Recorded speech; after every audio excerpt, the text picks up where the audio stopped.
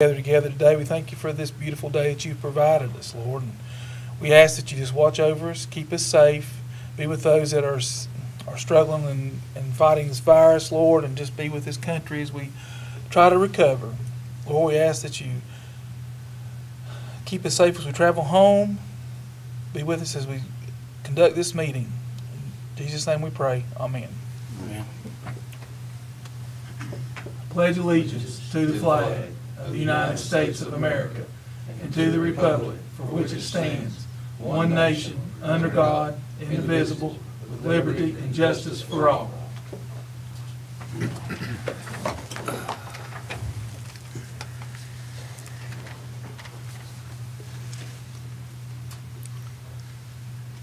Do I have a motion to uh, approve the payment of invoices? Mr. Chair, I make a motion we accept payment of invoices. All right, I have a motion. Do I have a second? Motion and a second. Any discussion?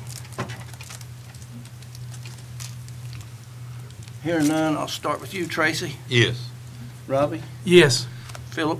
Yes. Dr. Littrell? Yes. I say yes. All right, Do I have a motion approving the minutes of a previous meeting? I make a motion that we approve a previous meeting minutes. I have a motion. Do I have a second? Second. Any discussion? Hearing none, I'll start with you, Tracy. Yes. Robbie? Yes. Philip? Yes. Dr. Littrell? Yes. I say yes.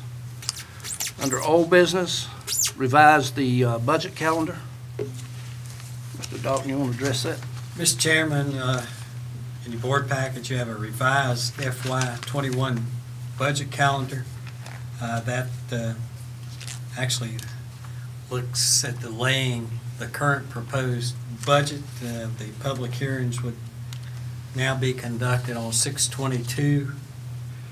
Uh, That's your last day, then the last day you'd have to adopt it seven days later, according to the code, would be 6/29. Uh, We'd advertise it six-three and six-ten. That, uh, what that does not allow is uh, for school contracts and all other kinds of things to be put out there until after the budget is approved.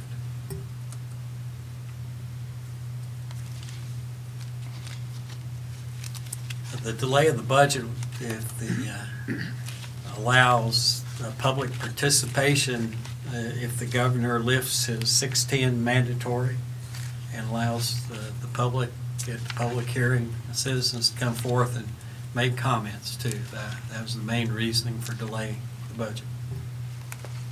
Does- Does that pertain to the school budget as well? Uh, School board budget, the county budget, everybody's budget. Okay.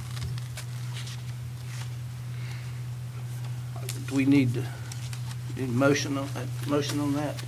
The Approval? board approved the budget calendar last December, I think it was, and we've revised it a couple of times prior to, so it takes board action to revise the budget calendar. All right, do I have a motion to uh, revise the bo- budget calendar? Have a motion, do I have a second? Second. Any discussion? On the uh, public hearing on the tax levy, is that just, we're going to set one then, or is that to adopt it at that point, or? Need to adopt at that Okay. point in time. Okay. Any other discussion? Mr. Moore, the whole, whole thing will be re-advertised. Okay, so we'll have a Yeah. public hearing. Well, that's Right. good, public be involved, so it's, If we get turned loose. I hope so. I hope so. Keep our fingers crossed. All right, have a motion and a second. Any more discussion? Start with you, Tracy. Yes. Robbie? Yes. Philip? Yes. Dr. Littrell? Yes. And I say yes. I guess that covers B as well. Yes. Uh, Blue Ridge Plateau Initiative, did we receive extra information on that? Mr. Chairman, members of the board, the, we have, in your board package, you have the business plan for Blue Ridge Plateau Initiative. Remember last August, September uh, area, uh, we had a, a group uh, come forth and to make an application, Department of Housing Community Development grant. Uh, We uh, finally got a review of that grant. There was nine subjects or items that DHCD required to move forth. One of these is the business plan, uh, the other is budgets, commitment letters for funding, uh, county support letter, and also uh, a county commitment of the land that uh, we'd previously promised as part, as our part of the project. Uh, What we've asked for Mr. Boyer and his group to come forth is that, to respond to all the other parts of this plan that DHCD wants before they can move forth their final review. So what you have today is just one part of several that you'll get over the next few board meetings. So there's really no action that we need to take tonight. No, sir. All right, public hearing notice, emergency order, ordinance.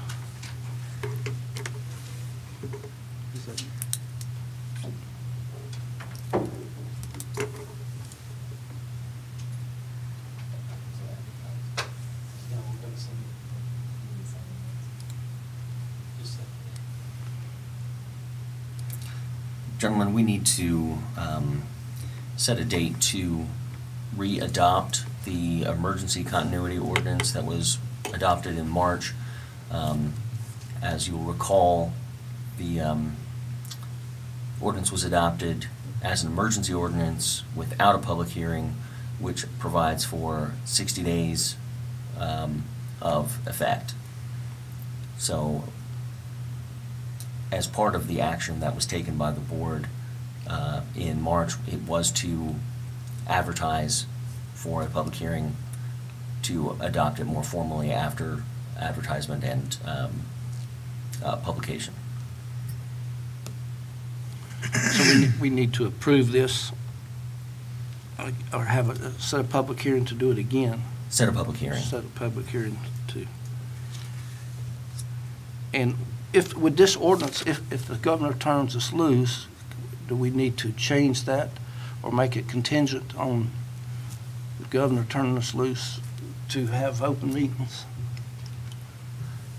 The, the ordinance would provide for expiration once the crisis is concluded. Additionally, you could always rescind it um, if it, if the board deems it unnecessary before the governor um, terminates the emergency, you could always rescind the, the ordinance at an earlier time, although it would only be in effect at its longest from six months from the declaration of emergency. Okay, do I have a motion to uh, conduct a public hearing on the emergency order ordinance? Do you have a date in mind, Mr. Dalton? May twenty-fifth. Twenty-sixth, twenty-fifth Memorial Day. May 25th? 26th. I'll make a motion that we schedule a public hearing on May twenty-sixth for the um, emergency order, order ordinance. All right, I have a motion, do I have a second? That's right. Motion and a second, any more discussion or discussion? All right, start with you, Tracy. Yes. Robbie? Yes. Philip?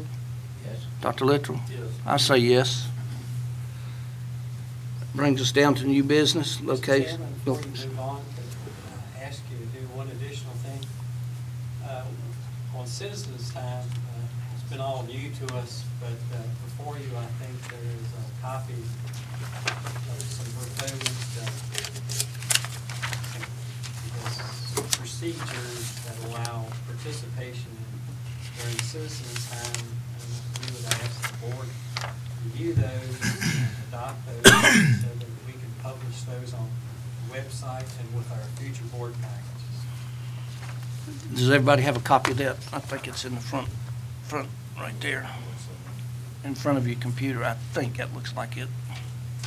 behind your computer. And Mr. Vice Chairman, just for um, clarification, I've reviewed the documents before the meeting, or the, the policy before the meeting, and I think it's appropriate and in conformity with our emergency procedures.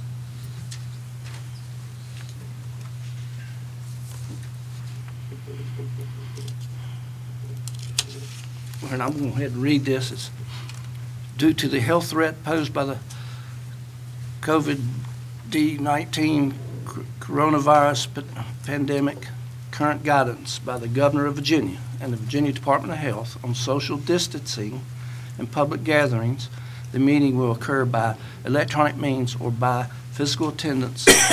The in-person gathering size shall be limited to 10 individuals, including board members and staff. The meeting will be streamed live by internet, and any Carroll citizen wishing to address the board shall do so in the following manner. Email citizens' time comments to crystal.adams@carrollcountyva.gov. Mail citizens' time comments to County Administrator's Office, 605-1 Pine Street, Hillsville, Virginia, 24343. Comments must be limited to three minutes and all comments must be received by the end of business, 5 PM on Wednesday, May 6, 2020. Do I have a motion to adopt that policy?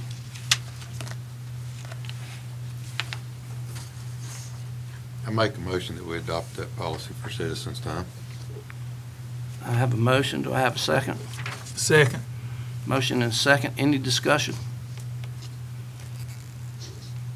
Mr. Chairman, since we don't exactly know uh, when this uh, pandemic and restrictions, uh, can we, uh, instead of, say, May the 6th, on the Wednesday prior to the board meeting, so that if this goes on into May and June, we don't have to adopt it each meeting? I will rescind my second. I'll Mr. rescind my Mr. Moore motion. will change his motion. We'll Change your motion. to the Wednesday before the first board meeting of the month.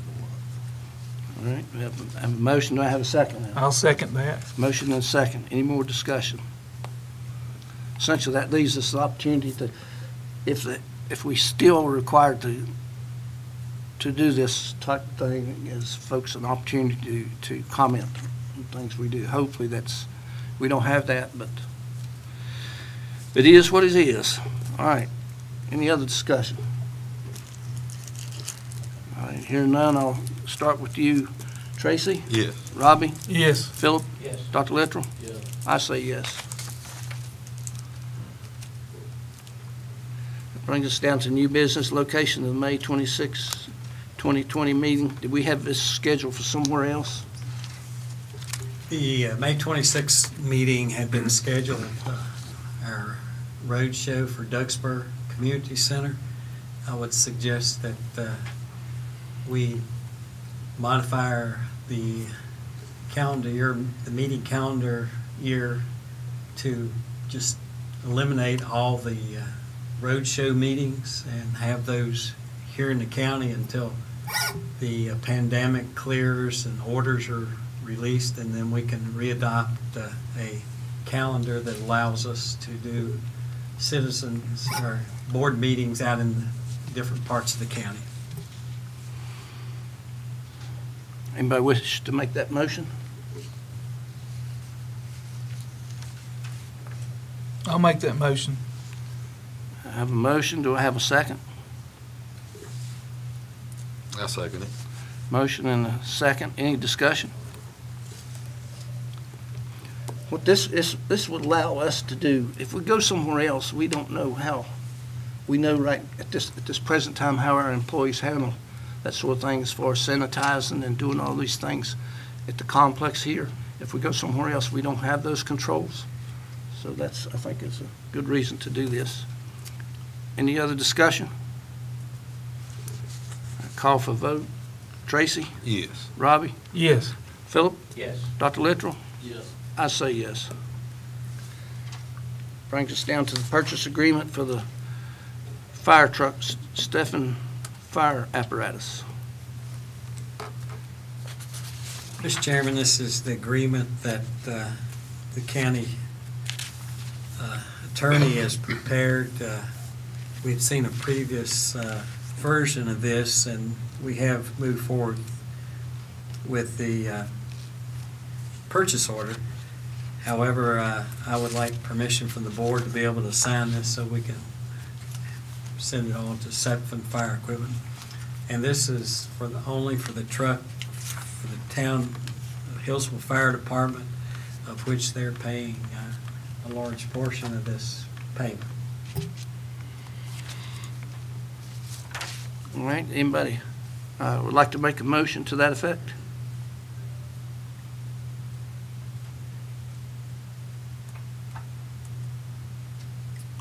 I make a motion, we move forward with this purchase agreement And allow Mr. Dalton and to allow Mr. Dalton to sign the needed documents. have a motion. Do I have a second?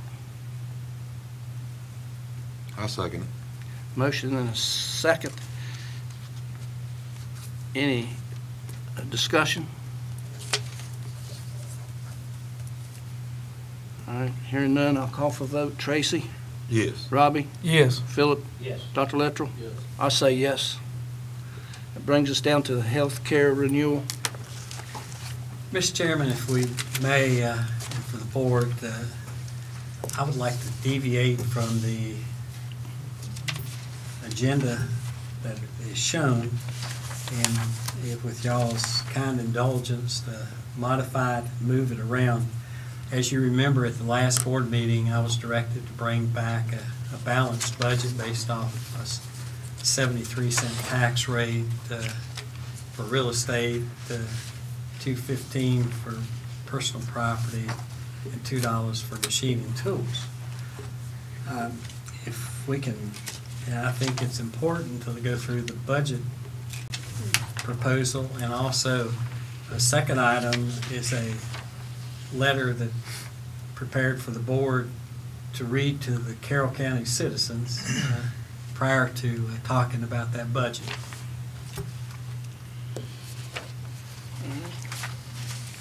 Rob, would you- would you like to read that? Yes, I will. Dear Carroll County citizens, the future we will see is not what to which we were accustomed. We hope every Carroll County resident takes a few moments to read this letter and we understand the letter may result in more questions. But it, but it is important for the Board of Supervisors of Carroll to communicate our thoughts to the county citizens during the mandated less than 10 gatherings and social distancing. We thank you for taking the time to read this letter. We are currently in the midst of some unprecedented events in the United States. The Commonwealth of Virginia and Carroll County, the President of the country, the Governor of Virginia, the Center for Disease, and the Carroll County Board of Supervisors has requested, directed, and/or recommended all residents stay at home as much as possible to slow the inevitable spread of COVID-19. The President and Congress has provided us with a $2.3 trillion relief bill with additional relief being considered as this letter is being composed. Every person will receive some type of payment and we can all delay filing our federal taxes. Record numbers of people are filing for unemployment benefits. It seems all are happy to receive the payments from the COVID-19 relief legislation. However, at some point, we all must return to work, school, families, and church. With all the above foremost in our minds, the federal, state, and local governments must continue to plan and the Carroll County Board of Supervisors must adopt a fiscal year 21 budget. Virginia code requires Carroll County to adopt a balanced budget prior to June 30 and to set the tax rates. In order to allow citizen participation, the Carroll County Board of Supervisors will amend the budget calendar to hold the required public hearings on the fiscal year 21 budget after the current governor's stay-at-home order expires on June 10th, 2021. The Carroll County Board of Supervisors, just like the federal and state governments, are besieged with special interest groups and those that believe their agency is the most deserving of funding or tax breaks. The Farm Bureau rallied its membership concerning land use, the school system concerning funding, and many others, so it is not easy to be a Board of Supervisors member. The Carroll County Board of Supervisors are faced with a tremendous problems. Not enough tax dollars to fund all their requests. We are sure many will say or think, why can they not manage thirty-four million dollars? The quick response is, there are over forty million dollars requested. So how do you cut six million dollars from a budget or raise enough revenue to balance the budget? Who can deny that children, schools, elderly, employees, farmers, families, healthcare, law enforcement, community centers, emergency services, food, water, sewer, recreation, libraries, roads, trash, trash disposal, broadband, and many other items are not important. However, the Carroll County Board of Supervisors are required to deal with those issues. We love the passion that people have shown from, for their work or cause in recent board meetings. We believe that the twice-a-year tax collection will help ease the cash flow problems of the county for the short term. Unfortunately, the Carroll County Board of Supervisors must, in the next two months, approve a budget and tax rates. We doubt that anyone will be happy. We all should understand the following items must be addressed by the Carroll County Board of Supervisors, and the board must approve or set policy which will dictate where funds will be spent. One, the Carroll County Board of Supervisors is required by Virginia law to have a balanced budget. Simply stated, that means projected revenue shall equal projected expenditures. Two, Carroll County should have a minimum of cash reserve of fifteen percent of the total operating budget in the bank at any given time as witnessed by Carroll County's issuance of revenue anticipation notes in the fall each year, this has not been the case for a very long time. The Carroll County Board of Supervisors should develop a long-term strategy concerning debt. Number four, develop a long-term plan on how to maintain and improve the schools, government buildings, and historical structures we currently own. We would caution that these are easy items to remove from budgets each year to concentrate on personnel but should be the number one priority because those same people need a good, safe work environment. Number five, decide on how to fund schools and implement the the plan. Every person in Carroll understands schools are important, but it's equally important to maximize the use of our limited dollars. Number six, encourage citizens to take part in government and schools meetings. Number seven, be proud of Carroll County and promote it to everyone you meet. Never miss an opportunity to praise the place you live and or raised and educated. We believe our Carroll County family, friends, educa- education and experiences are the essence of whatever success we will have in life. In the short term, we will all need to understand there is a lot of work and sacrifices to make before things get better. We all must work together for the future and to negotiate our way through the next couple of years of lean times.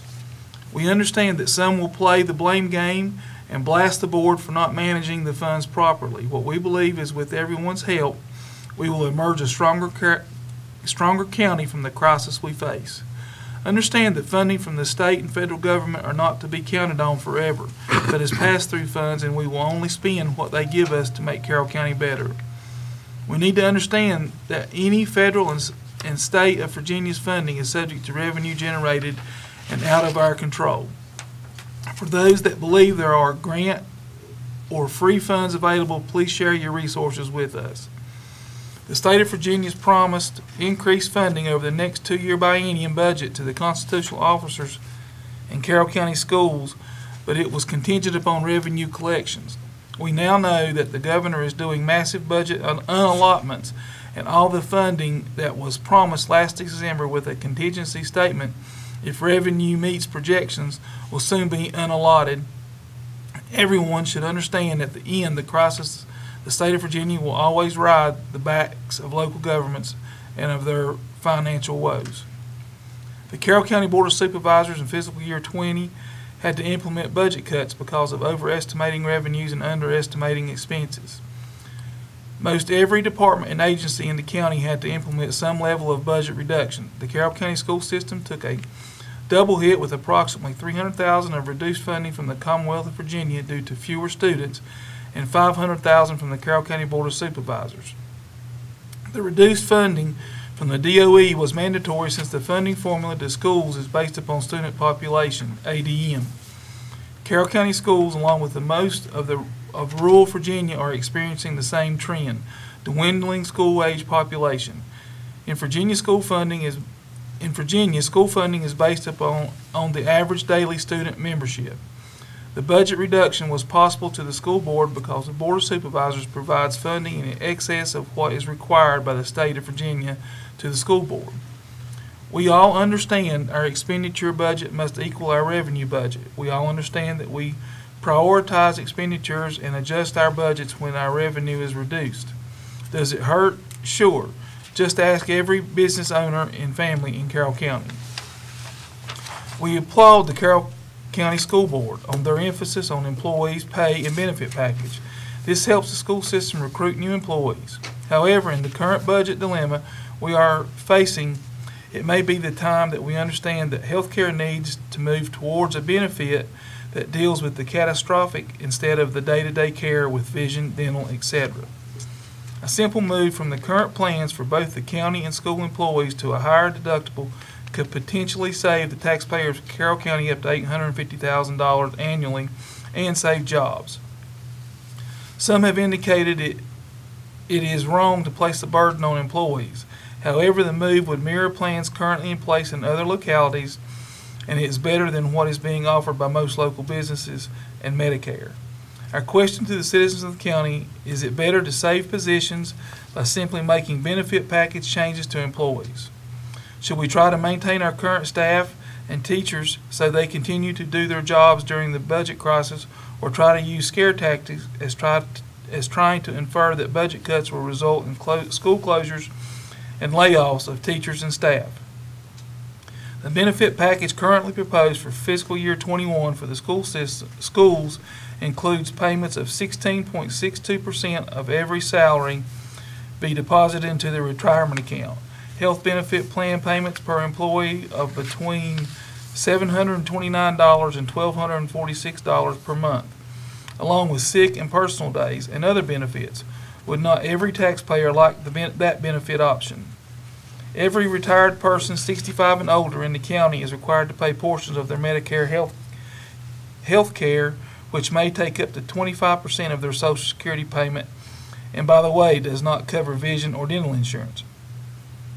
This group composes 24.5% of the Carroll County population according to the U.S. Census data, and another 13.1% of the population of Carroll, the population, Carroll County population under 65 has no health care insurance. Maybe the 29,000 Carroll County residents who are not county or school employees should comment on whether they feel it is reasonable or want to pay additional taxes for local government and school employees to have such enriched health care plans in today's world and the financial crisis we are experiencing. The Carroll County Board of Supervisors recently held two public hearings concerning proposed revenue. One was for the tax rates for calendar year 2020. The second was to re- repeal and/or modify land use, which was continued until, until July 13th. Even with the governor's requirement of public safety in place, the public hearings drew great interest with all the comments stating that the county should not increase taxes so drastically or not at all and continue to defer land use at a total of approximately 1.5 million per year. At the end of the meeting, the Carroll County Board of Supervisors requested the staff to bring the, to the April 27th Board of Supervisors meeting a balanced budget based off a 73 cent real estate tax rate, a $2.15 personal property rate, and a $2 machine and tool tax rate. The proposed tax increases are estimated to bring in a little over $1.1 million of additional tax dollars to the county.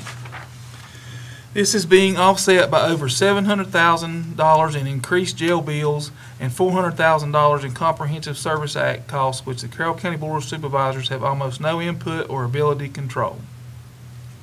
We do thank the Commonwealth Attorney on his efforts to help mitigate these costs by working towards uh, modifying bonds and trying to get people to court sooner. There should not be any reason for someone to be sitting in the jail awaiting a trial when they are not a menace to society, and in America, they are innocent until proven guilty in a court of law. The Carroll County Board of Supervisors believes in a land use system that is administered fairly in accordance with what land use was intended. Carroll County cannot allow or condone what appears to be abuse of the system. Land use was impl- implemented in 2004, and the committee that studied and recommended the system had some insightful comments. They based the proposed land use on the previous land assessment values. Land values about doubled between 1998 and 2004, and now are even higher, which set land values for taxation at the 1998 level for those in land use. They also commented that land use should be monitored, and if it became a financial problem, it should be fixed or repealed. Those recommendations had been implemented when the 2000, when the 2008 assessment was finalized and land values almost tripled, land use values should have been adjusted. However, a county budget was set without adjusting values. The 2013 reassessment resulted in land use values being lowered after the recession, but the county rate or expenditures was not adjusted because of the lower revenue nor were land use values. Another factor in Carroll is that a large percentage of the land currently in land use is owned by non-residents. These non-resident ownership, this non-resident ownership and reduction of taxes on land use property has had a profound effect on local land use value tax deferral and land prices. The purchases of land by non-residents has risen dramatically and driven up land costs so that long-time residents cannot afford to purchase the property but have to pay higher taxes on their property that does not qualify for land use deferral. We find it interesting that a large majority of the emails and letters received concerning land use were not citizens of Carroll County, but out-of-state owners. At the end of the day, the citizens of the county will need to speak up and decide where and how they want their tax dollars to be spent. Based on what we know today and to the best and, and to best protect what we have, we believe the following must occur. Number one, adjust all budgets to reflect the proposed revenue. Number two, eliminate all funding to non-essential agencies or nonprofits. Number three, move forward with the tax rates as approved at the last CCBOS meeting. Number four, modify land use with input from citizenry and implement the, for calendar year twenty-one revalidation.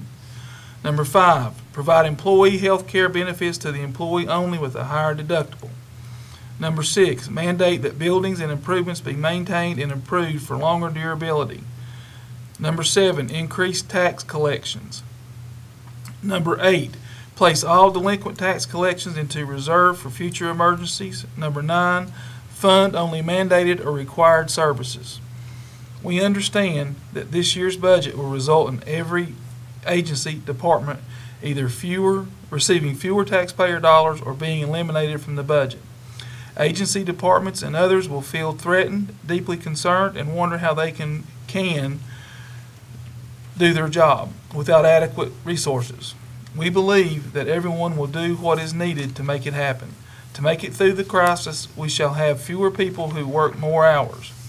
With fewer people, it will take longer to accomplish the same task or respond to a request for information, and the taxpayers must understand and be patient. In a few years, we will talk about how tough it was, the sacrifices we all made, and how it how it was how it used to be. We shall move forward. The financial problems shall be resolved. COVID nineteen will pass, and we sh- all shall be stronger based off the experience. For the naysayers in the county, we would request you be part of the solution and not part of the problem. Thanks for understanding and patience in these difficult times. Sincerely, the Carroll County Board of Supervisors and Administrator. Thank you. Excuse me. Thank you, Robbie. We need, you want to have a discussion on the budget items that we have here, or just, just this information stuff? Or your suggestion?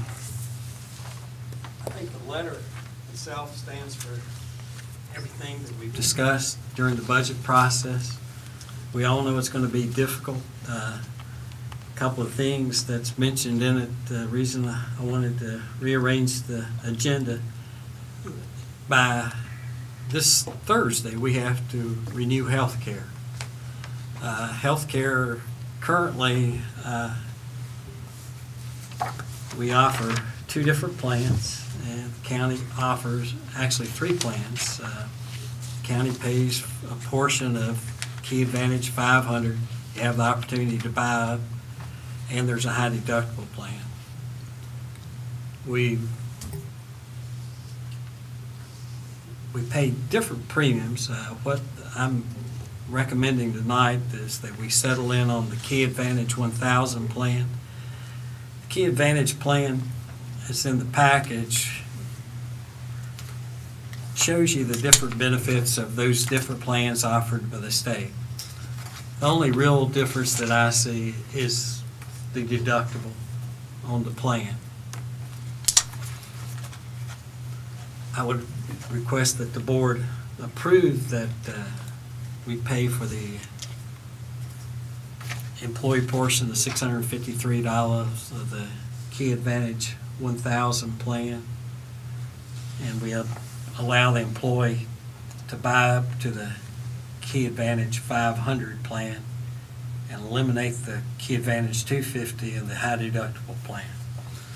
Uh, Adopting that will allow the board to save a little bit over a quarter million dollars on an annual basis, and I have a spreadsheet uh, that I laid out on your desk concerning that, I believe.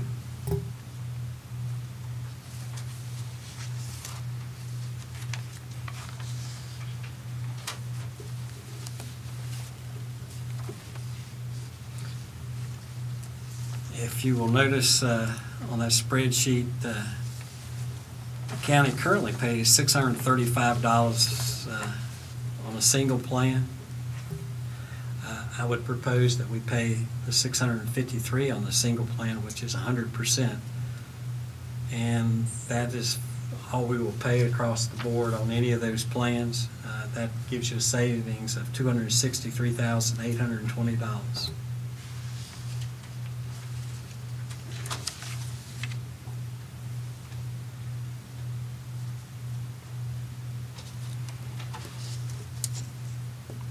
Gentlemen, any discussion? Someone, If, if we, if, as part of this, if the board so cared to recommend that same plan to the school board, if the school board adopted that same plan, they would save this year six hundred and nine thousand eight hundred and seventy-six dollars on the healthcare plan. Uh, that would make up a lot of the difference of, uh, what we're talking about in this year's budget and last year's budget.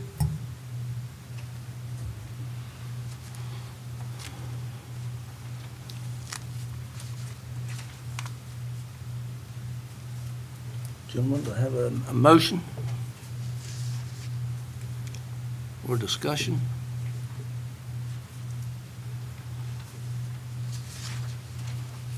Looking at the, at the difference between the five hundred and the thousand, Saleo, just looking down through here, what we have, it's primarily just a difference in the, in the, um, deductibles, correct? The deductible and out-of-pocket on an annual basis.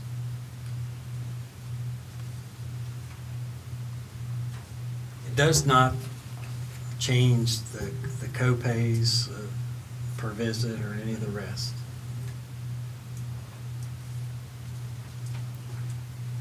That's typically what most, everybody is going to, then, this type of stuff, correct? I mean, that's, that's what I have to make a determination in my health insurance, whether or not, you know, how much deductible I'm gonna be paying, or,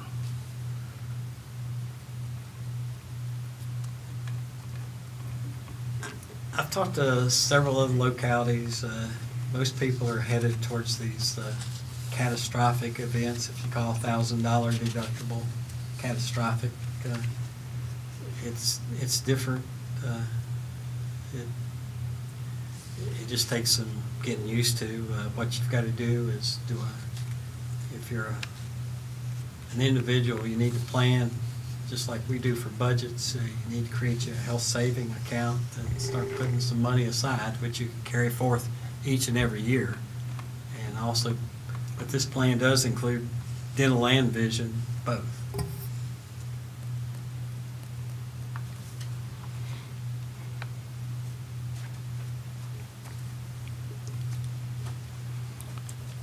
Do I have a motion to adopt the plan?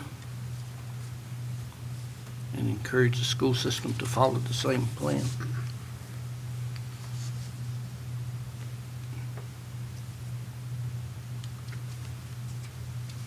I make that motion, Mr. Chair. I have a motion, do I have a second?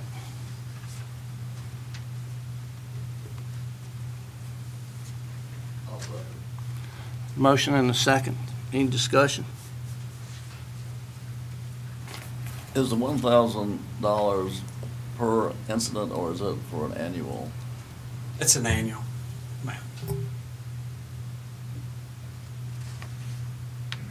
Ultimately, we can just request the schools, right? We can't. That's Okay. It's never popular to mess with, the- with the insurance, but we're, I, I think about the employees that I work with, they, they're paying twenty-five hundred and three thousand dollar deductibles and it's, it's never popular to change any of this stuff, but I don't see where we have a chan, a, a choice right now.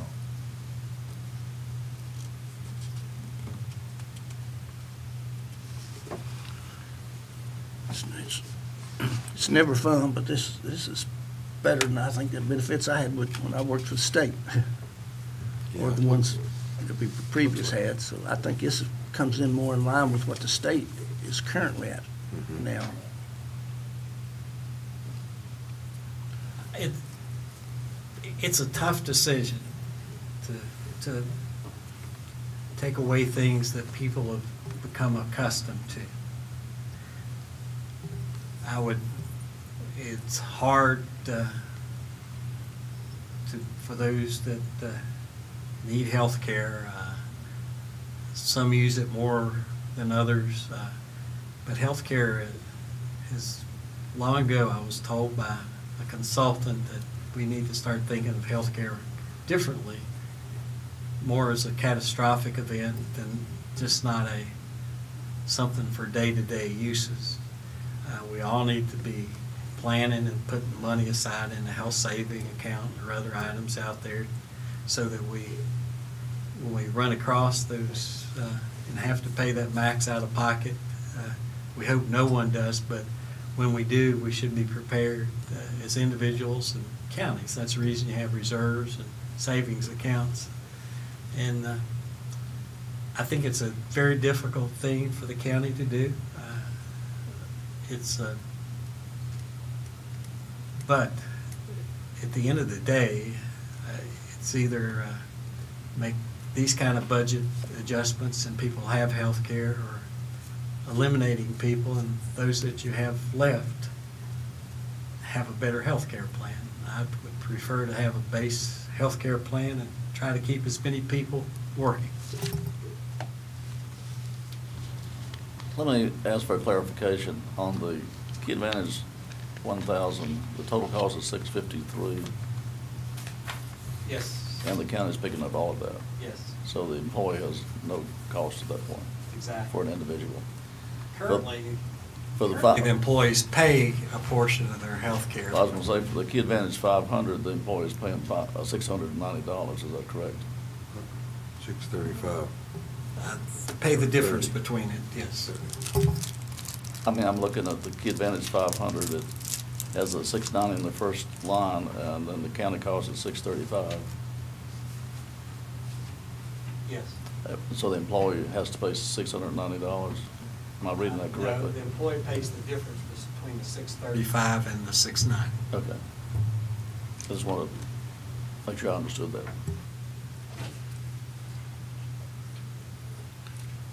I'm sorry that that wasn't clear. Apologize. Any other discussion? Hearing none, I'll call for the vote. Start with you, Tracy. Yes. Robbie? Yes. Philip? Yes. Dr. Littrell? I say yes. Brings us down to consent calendar. Uh, Mr. Chairman, before you go on, I'd like to comply with the direction from the last meeting, if I may. Uh, That would be good. Go right ahead. Uh, Last meeting, uh, you asked me to, uh, based off those proposed rates and Dr. Littrell's motion, to bring back a balanced budget. Uh, You have on your desk uh, there in front of you a copy of every department that we fund. The, I'll run through these pretty quickly. The print's fairly small, so if I make a mistake, uh, I apologize in advance. Uh, Current year's budget for the Board of Supervisors, three hundred and your proposed budget next year is one hundred ninety-nine thousand nine seventy-two. I hope you realize that is eliminating every nonprofit uh, that you have. It- it- You would maintain your membership in the Association of Counties. The current county administrator's budget is three hundred ninety-five thousand. Uh, next year's proposed budget is two hundred and fifty-eight thousand, two twenty-six. That includes basically two employees that pays the audit fees, which are between sixty and seventy thousand dollars next year, which takes up just about all of that. Uh, The final Finance Administration Office, uh, 259, it's going down to 256. The Technology Department is 428,000 down to 271, 271,000. Commissioner Revenue, 404. Uh, Proposed budget uh, is down to 186. Reassessment, which is mandatory, and you already signed that contract. Uh, Next year's budget be three hundred thousand to finalize that. Uh, They have a, create a GIS department with a budget of twenty-nine thousand. Treasurer's Department, uh, a new budget from four oh six to three sixty-one. Electoral Board, seventy-five, stays seventy-five. Registrar 85 to 82, uh, Circuit Court uh, 64 to 66, 24,000, General District 24,000 to 15,000, 10 Juvenile to Domestic, 10, 8 to 9, 3, Magistrate 3,500, 3,500, that's their telephones. Clerk of the Circuit Court, five hundred and thirty-seven thousand to five hundred and thirty-six. The Commonwealth Attorney, six thirty-seven to six twelve. Victim Witness is a grant program, so it won't change. Enforcement, two four fifty-nine to two four sixty-two. That will change dramatically since the governor is getting ready to unallot all those funds. Most of that was state monies. Uh, And continue down through there, uh, highway safety funds, uh, 879 down to 610, volunteer fire 476 to 337, volunteer rescue 339 uh, to 348, which is a slight increase. 911, the same funds, it's pass-through monies that we do, our tax collections pass on to the commission over GALAX. Correction and detentions is the huge change. Uh, It go dramatically increasing, almost $700,000. Juvenile detention decreasing slightly from 239 to 200,000 building inspection going from three hundred twenty-four thousand to one eighty-three. Um, Animal control, one twenty-three to one twenty. Office of Emergency Service, two thirty-one to two twenty-nine. Carroll Fire and Rescue, uh, uh, we're looking to apply, next year's cost is, I missed the number, but it's exactly the same as this year. Solid waste is a pass-through number. We pay the salaries, they repay us. You'll notice the Cana Conven- convenience center is removed from the budget. County complex, it goes from three hundred to two hundred and sixty thousand. The cannery is cut in half. Uh, Woodlawn School, uh, fifty-five thousand, forty-six thousand. Building the grounds from six oh nine to four fifty-two.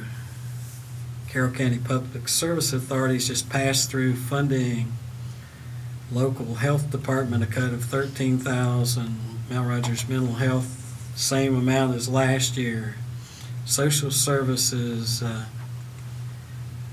a slight increase there, most of that having to do with the CSA monies that we talked about earlier. District Three, the same amount. Uh, the school board, uh, forty-four, four thirty-seven to forty-four, one seventy-one. Uh, school debt going down from four point five to point four, four point three million. Wytheville Community College, forty-five to forty-three thousand. Tourism, uh, one eighty-three to fifty-five thousand. Recreation, three ninety-six to two twenty-eight. The Carroll County Fair from one eighteen to sixty thousand. The Galax Carroll Public Library, three seven, three hundred seventeen thousand, three thirteen.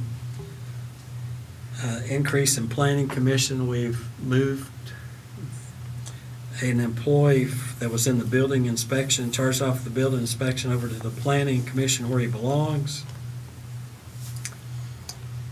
Uh, small business incubator from one fourteen to one eleven, Carroll Grayson Airport, sixty-two to fifty-four nine sixty. Uh, The uh, extension's the same, uh, the farmer's market in this budget proposed is eliminated. The non-departmental budget goes from one oh five to eighty thousand. Revenue refunds are exactly the same. This gives you a local funds required of thirty-four million, six oh eight. We're projecting thirty-four million, nine fifty-nine, which is three hundred and fifty-one thousand difference. Until the governor, with our delay of the budget that we requested earlier today, will allow the governor to, and the state to make their modifications and revenues, which we will then do. And then we'll, once all that's in, we will go back through this item by item. And we're very, very close to being budgeted, but this, this is, if, if this is not a bare bones budget, I don't know what is.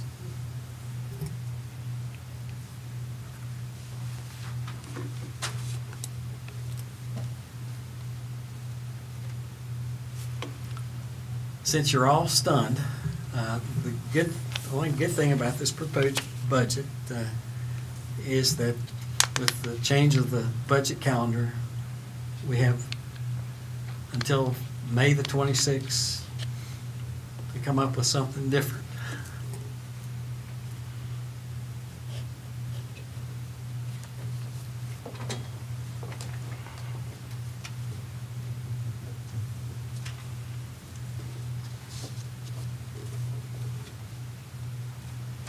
It's not like it wasn't anticipated. Any discussion from anyone? Comments?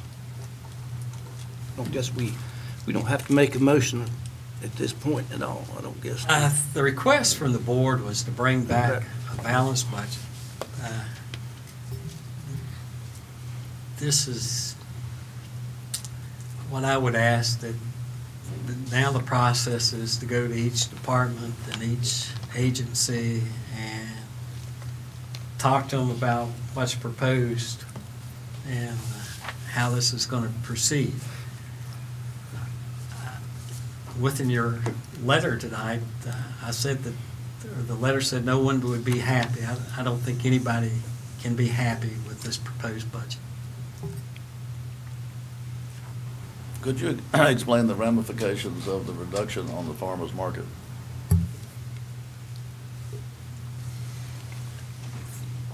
Ramifications of farmers market and the local people uh, have been trying to talk uh, to see if there is an- a group interested out there that would lease it and operate it. as a true farmer's market. The only other alternative you have on that issue is to make that farmer's market raise the current prices dramatically on what you charge to do all those services for them. Uh, And that, if that could happen, uh, if, if, and they had the same level of use, you, you might get it close to breaking even that way. You the wholesale market. I am the wholesale market. If you're talking about the retail market, it has no change to the retail side. Would it be possible to get a listing of those charges, what we typically charge and? I have those. Be more than happy to. I think that was part of the original budget presentations from every department. We'll make copies of those. And actually, we've got some uh, projected change of revenues with different uh, rates in there of how to charge that off and increase those revenues.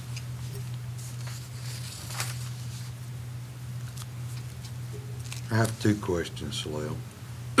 One, it, it sort of keeps the school budget about the same as what they presented, correct? Just two hundred sixty-six thousand less? Is that what? Uh, Actually, it's a few hundred thousand less than where we're currently at. Okay. uh, And then with the difference of the three fifty-one, you know, if we, that could, you know, potentially help some of the, at the farmer's market or not? You know, could that be used there? there? At the end, A lot of wait and see. Uh, At the end of the day, uh, whatever revenues that we have Mm-hmm. uh, can be divvied up any way the Board of Supervisors would like those to be. Okay.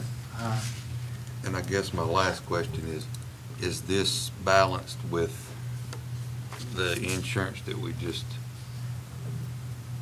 It actually included what you just did. okay, okay, yeah, it was just, just trying to, I will say that there's, is this revenue projections, uh, if everybody listened to the, the governor, and you're listening to what's happened to the revenues of the state of Virginia, last month, I think it was forty-eight million dollars less in lottery funds, which is a majority of the school funding. Uh, The number for sales tax decrease last month was so dramatic, uh, don't even want to quote it. And we haven't really gotten into the middle of the shutdown of the state because those were February numbers. Uh, So uh, I think uh, statewide funding is dramatically down.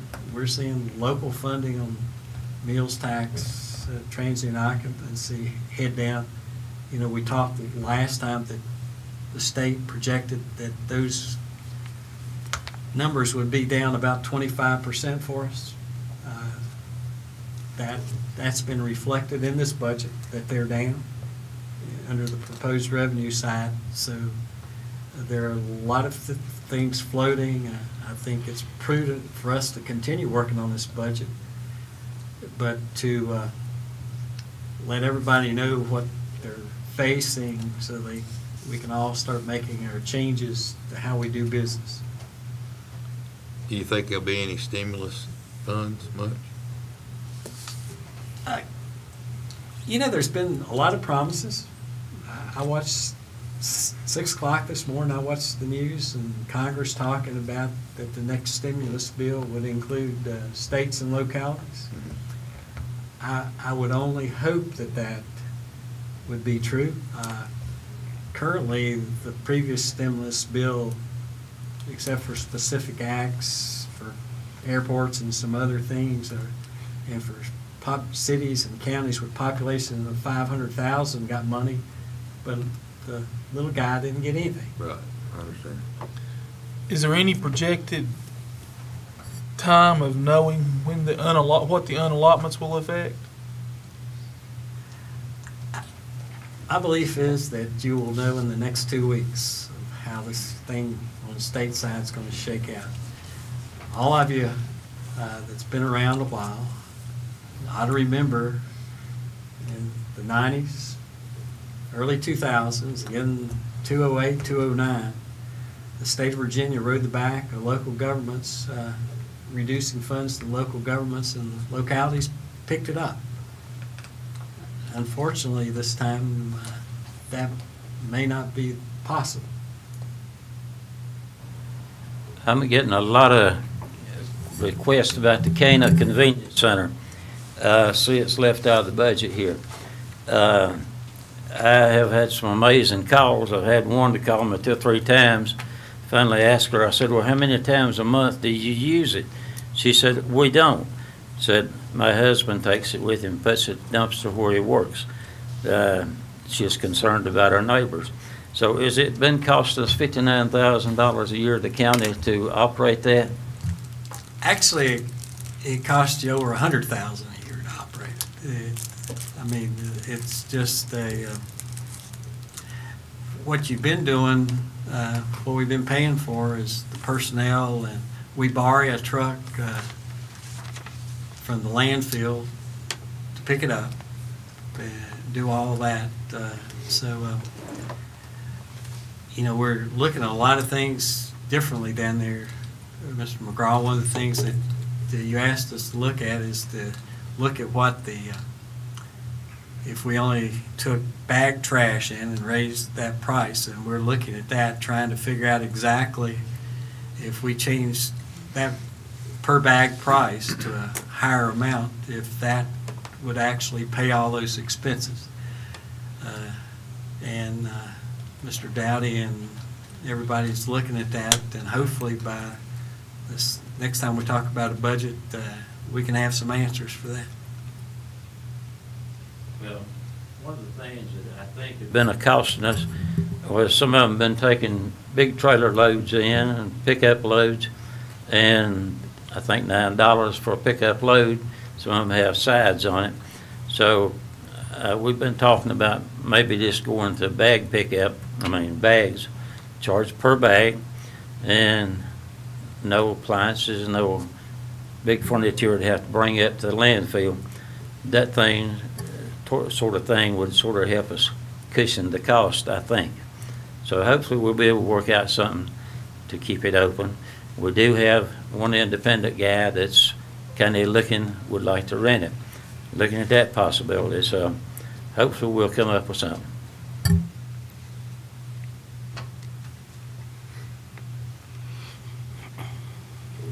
We also, it looks, it looks like just in the revenue side, there's half a million dollars that we're not gonna realize.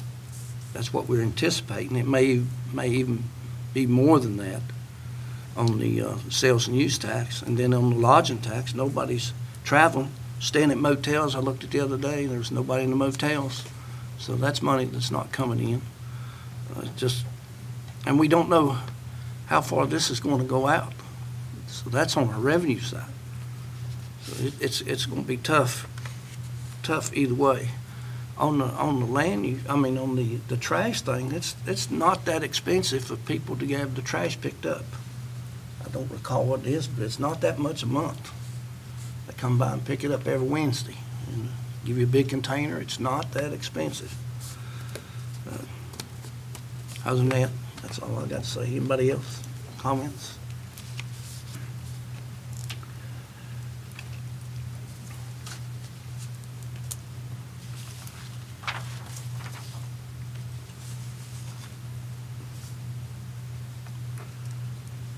I think it's fifteen to seventeen dollars a month for senior citizens. I had to get a text. Somebody that knew.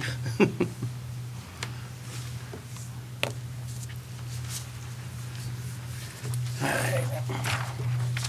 Any other discussion?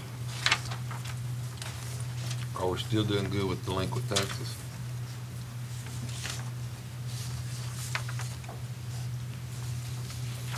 Think we are. Uh, It's been pretty difficult because of the closure of uh, the treasurer's office uh, to, a lot of people are like myself, uh, they really need to talk to somebody before they feel comfortable instead of just dropping the money. Oh. And then there's also the discussion of, especially on DMV stops, of getting it released and things, so. It- It's been a little more difficult, is what I, I would think. Uh, We, we were in the process of trying to uh, reopen that portion of the courthouse. Uh, I think all of you know that uh, the health director now has ruled that we're uh, open transmission of the COVID in the county. There's, um, our Commonwealth attorney is now quarantined. Um, We've got all kinds of other things going on that, uh, It was supposed to open back today, wasn't it? yes, Trying times. I think it goes without saying that the uh, school budget has been of high interest to several people in the county. And how does the number that you've come up with on this pro- potential budget match up with the sc- what the school board might be asking for, do you know? I think uh, Tracy multiplied it and subtracted it out. Two hundred and sixty-six thousand less than what they proposed. And that's not changing Yes, that's not changing insurance. That would put them to the good about three hundred and forty-five thousand. But that's, a s- is that not still an increase in their budget, total budget? Mm-hmm. Total budget, yes. So they haven't, still getting an increase. Mm-hmm. The other thing, nobody's buying cars. Nobody can go out and buy a car. So that's going to affect their personal property tax as well. So we just don't know where we're going to end up with this mess.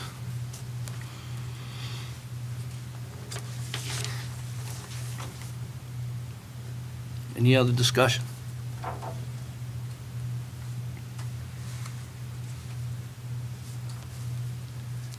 Brings us to the consent calendar. We need to approve that. Mr. Chair, I make a motion that we approve the consent calendar. Inside it is the, you know, for the one, Oh, yeah, I did, I did read that, I'm sorry. I should have remembered that.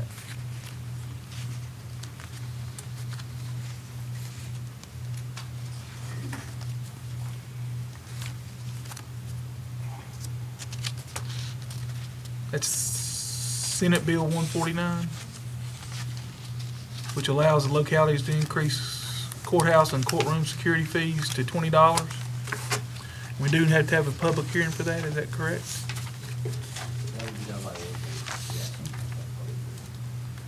Can we schedule that public? Uh, Can we go ahead and get- ask the county attorney to draft that up? And it does, we go you all. That's correct, we could, we could adopt it, at the time we could set the, the public hearing for the twenty-sixth or. Since, since we're having a public hearing in May, on May, why don't we just go ahead and do the same, do it at the same time? If that's okay with everybody else, I don't. Makes sense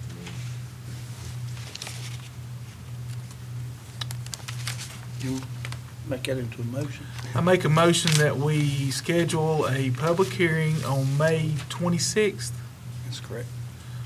for the ordinance for, s- that would cover Senate Bill one forty-nine for courthouse and courtroom security fees.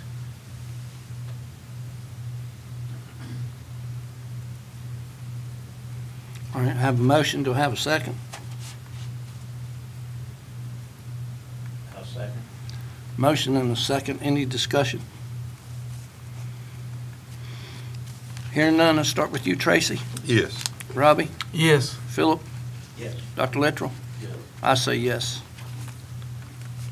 Now we need a motion to approve the consent agenda. I will go back and make my motion to approve the consent agenda, agenda. I have a motion. Do I have a second? I second it. Motion and a second. Any discussion? All right, call for the vote. Tracy? Yes. Robbie? Yes. Philip? Yes. Dr. Littrell? Yes. I say yes. All right. Do I have a motion to go to closed session for A1, A5, and A7?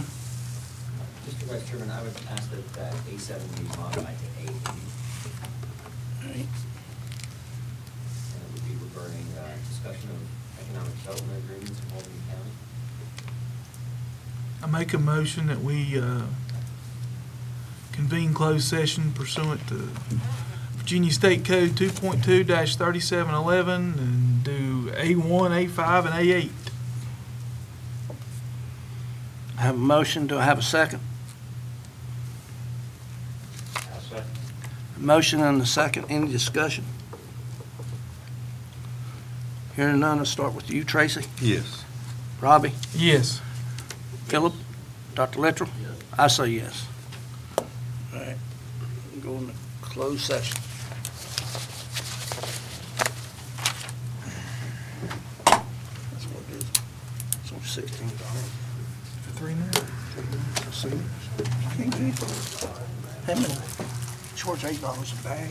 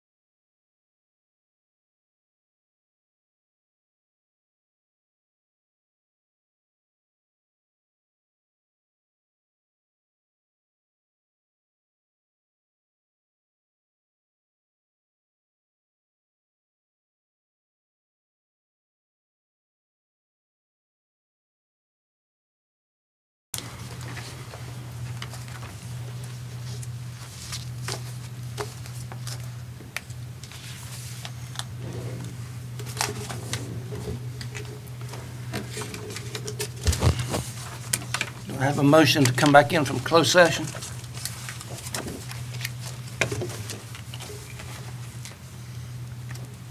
Make a motion, we return to, from closed session. I have a motion, do I have a second? Motion and and a second, any discussion? Start with you, Tracy. Yes. Robbie? Yes. Philip? Dr. Littrell? Yes. I say yes.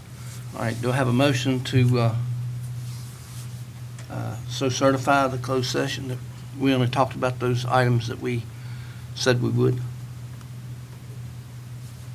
Personnel under A one. Pers- Economic development, prospect under A five. Consultation with legal counsel under A eight regarding economic development agreements involving the county.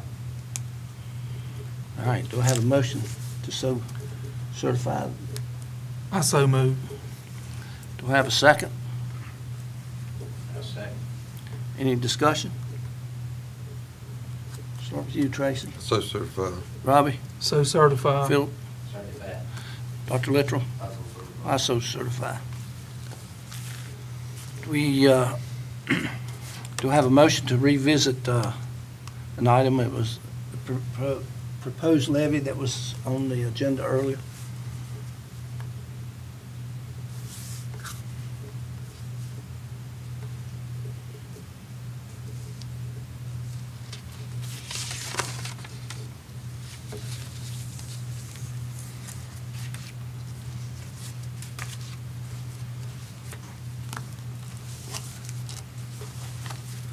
Do I have a motion to uh, reconsider the proposed tax levy 21, fiscal year 21 budget?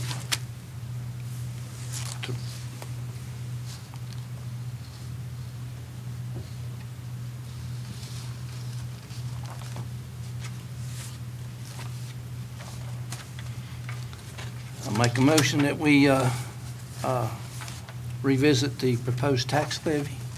Do I have a second?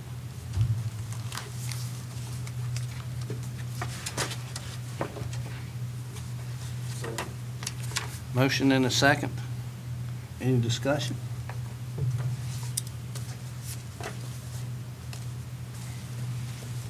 Start with you, Tracy. Yes. Robbie? Yes. Philip? Yes. Dr. Littrell? Yes. And I say yes. Now, do I have a motion to, uh, to adopt the tax levy so we can notify the uh, Commissioner of Revenue so they can prepare for the uh, twice-a-year collection?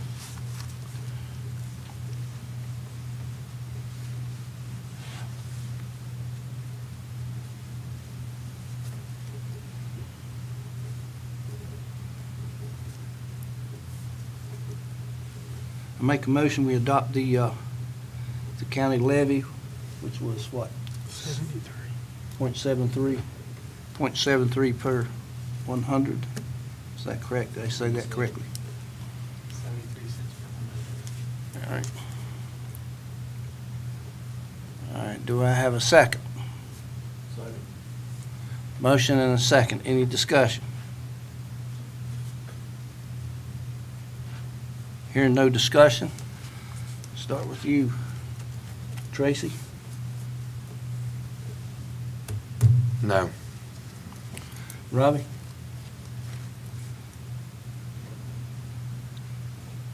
Yes. Philip? Yes. Dr. Littrell? Yes. I say yes. Motion carries. We notify the uh, Commissioner of Revenue